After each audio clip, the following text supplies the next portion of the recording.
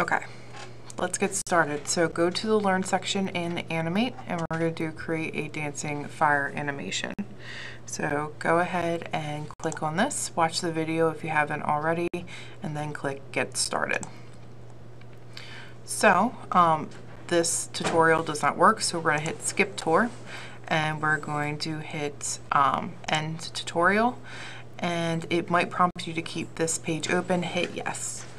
So first thing we need to do is grab our Polystar tool. So you just click and drag and it's over here. It opens up our properties panel and the tool section of the properties panel. This is where we can adjust everything for our polygon. Um, yours will be set to five. Um, mine is set to three just because I've already been messing with this. Um, but if you come down to tool options, style, and the number of sides, we're going to turn this down to three. Um, three sides obviously gives us a triangle. Um, we are then going to draw our triangle here. Um, you know, shift will snap it um, straight for you and then let go when you like the size. Okay, I'm just going to move this to the center. So right now, um, this is a object and we need to convert it to what's called a symbol. Um, right now we are in our main timeline. When you create a symbol, it um, is then able to have its own timeline. So um, it's nest um, small timelines into the bigger main timeline. So what we're going to do is if you come over here, now that I have my triangle selected, um, you'll see that under properties, objects is now um, set. And under shape is expand to fill, create an object, convert to symbol, and create a new painting. What we are going to be using is this convert to symbol icon. So you're going to click this and we're going to name it flame. And then if you look, there's type. There's three different types. There's a movie clip, a button, and a graphic. Um, we will be working with graphic. Graphic it is the easiest to preview, work with, and there's no coding involved. Movie clip um, supports like JavaScript um, and other forms of coding, um, and it makes them a little bit more complicated. It also is harder to preview. Um, and then button is exactly that. It is a button on the screen. When you click, something happens. Um, again, that has back-end coding, um, which we're not going to get into. So we have flame, graphic, and we hit OK. So now, if you look, my uh, triangle has now been converted to a symbol. I know this by the blue block, blue box and the hollow circle in the middle. So now I need to get to the flames timeline. So what I just need to do is double click and if I look over here it says scene one and then flame. So this now is I'm now in the timeline for this specific symbol. Um, you can see how it's changed to layer one instead of fire and um, so I'm going to click on my first keyframe here. So I'm on frame one, tells me right here. And then if I go over here, we have insert keyframe, onion skin, edit multiple frames, create classic tween, um, and then like loop, play, you know, step forward, step back. Um, you guys should have seen this when you were doing the bouncing ball. So now what we're going to do is we're going to hit create a classic tween. Okay, classic tweens are purple and you can see here it's now given me a tween from um, frame 1 to frame 24, so one second of um, animation. So, um, and these dots right now show that there's no keyframe, so it doesn't know where it's going. So what we're going to do is I'm going to go back to 1 real quick, and I'm actually going to adjust my flame. So I'm going to make it thin and um, thinner and kind of pointier, more like a real flame. And then right here, this is like an anchor point um, on our object. I need to drag this down. What this does is puts like a pin in your object and everything moves around this pin, whether rotating, resizing, all of it.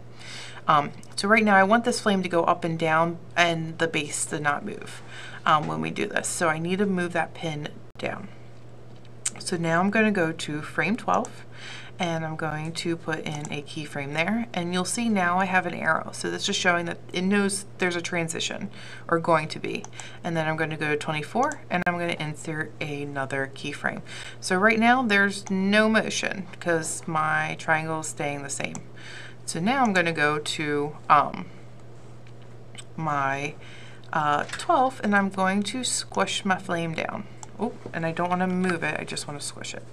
So Control Z is undo, um, just like we um, on all the other programs. So I'm going to squish and then it's going to get tall again. So if I drag this over now, my flame's going up and down, kind of like a flame would um, in real life. Okay. Um, so, and then if you want to always check it, you can run this little blue tab right here back and forth, um, or you can hit play. Okay. So now we are going to um, click on the top left arrow and we're going to go back into um, our scene one. Okay, so you can see here that this is now changed based on the scene.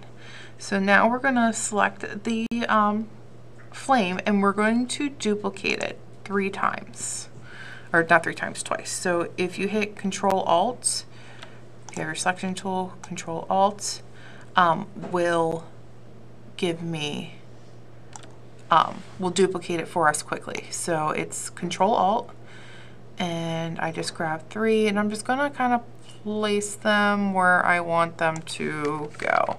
Um, here in the flame, and just kind of have them a little, you know, spread out. Um, but yeah, so that looks fine for now. Okay. So we have now three flames. Um, the issue with this is that these flames um, need to be adjusted and maneuvered. So um, now what we're going to do is we're going to add some frames to our main timeline. Um, that way we'll be able to see our animation. So we are going to go to one second and um, we just need to add, oh, do want to add a keyframe there.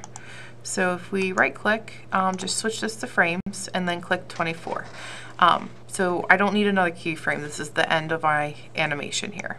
So if you look, they're all going up and down together, which doesn't look like a real realistic flame yet. So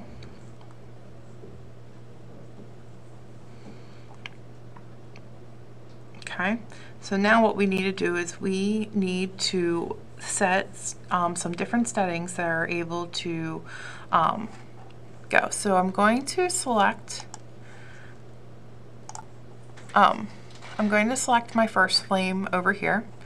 Um, and then if you look, um, my object panel is opened again. It's set to graphic because this is now a graphic symbol um, our sizing, we have a color effect, and we have a looping effect. So we're going to be messing with the color effect and with the looping. But first we're going to do looping.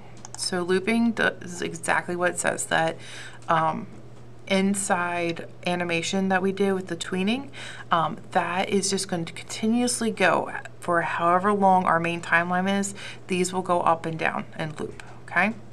But if you see right here, it says frame picker and it says first frame. So if we went in back into that timeline, all of these are starting on frame one and looping, which is why they all look the same right now.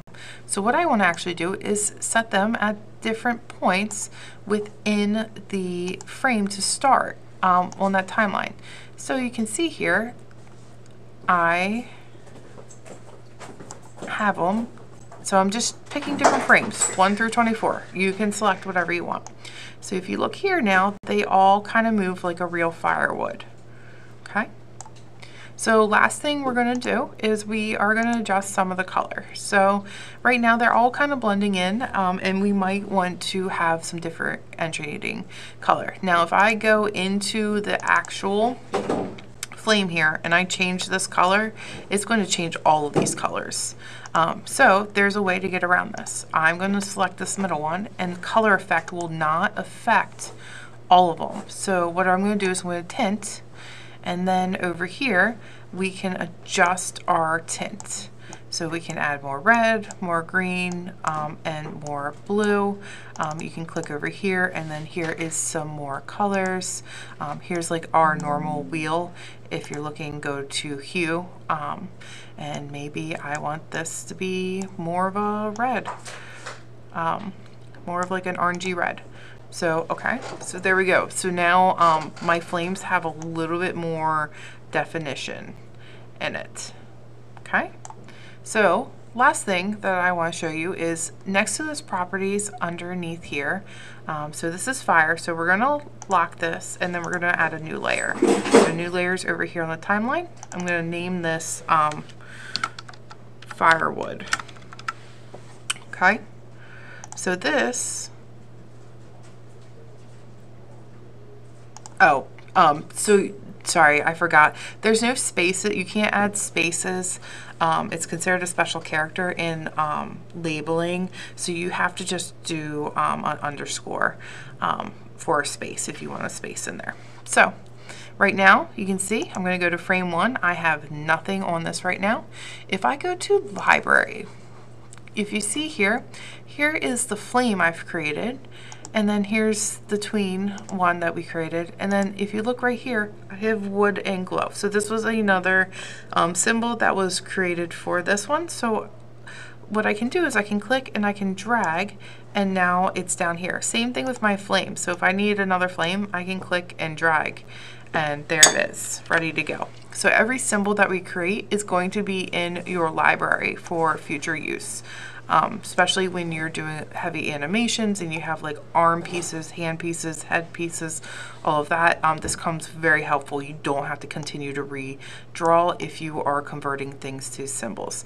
So what I can do now is I can lay my um, logs here and you can see um, this adds um, the frames and then um, I'm just going to hit loop right here which will loop my main timeline.